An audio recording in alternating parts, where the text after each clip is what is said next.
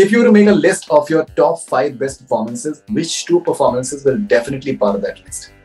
I, I mean, A romantic scene or a melodramatic scene? What is tougher for you? I think the toughest thing is What quality of a director makes things easier for you on the sets?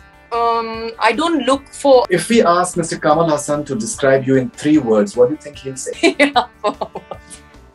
A rumor you heard about yourself that made you laugh. somebody. I, I mean, I've said this. I can do anything for my love except Oh, there's many. I mean, I like singing more than acting. uh,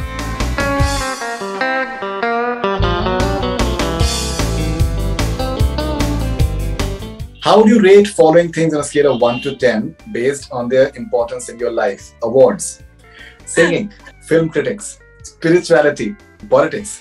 I would say around. Uh, Shruti, so we'll, we'll end this interview with rapid fire with you. let's go.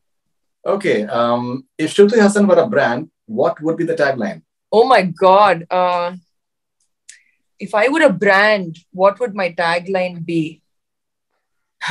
if you break it, you buy it. No, I'm kidding. No. no. Uh, I don't know. Uh, a multi-purpose, some sort of multi-purpose product. That's what I would be for everyone in the home. trusted for years. Shruti Haasan, the best multi-purpose product. I don't know. All right. I think the best one was uh, you break it, you buy it. I think that one was. okay. If you were to make a list of your top five best performances, which two performances will definitely part of that list? I I mean, I don't know.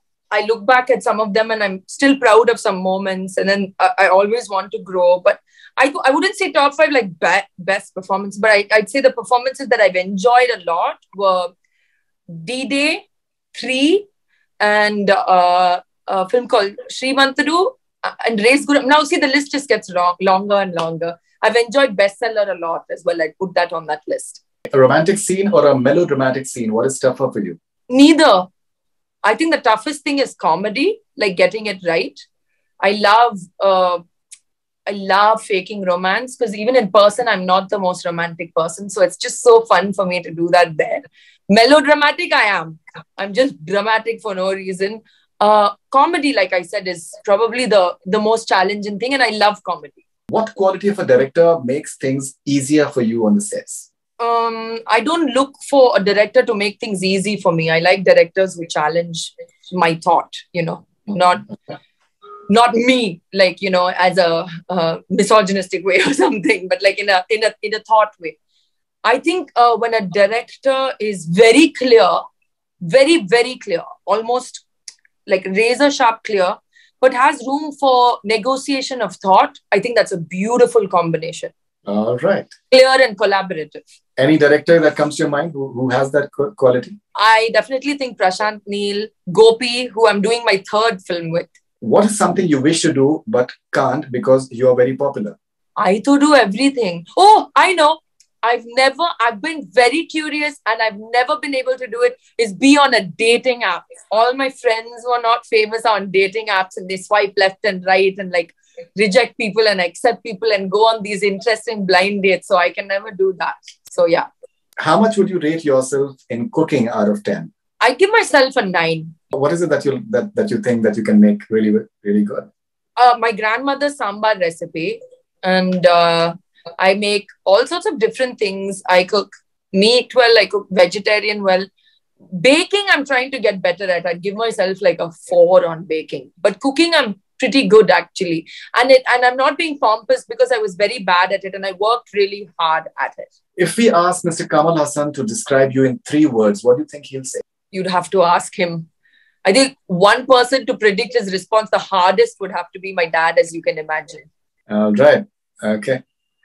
A rumor you heard about yourself that made you laugh. somebody I, I mean i've said this like i've heard lots of random rumors and like i said usually there's no smoke without fire. Like it doesn't even have to be about uh, a person or a link up. Like there'll be some okay maybe they thought this or this but there was one entire interview and uh, a fake article that i love fruit so much that i like to smell like fruit and that i have perfumes that range from papaya to pineapple to strawberry.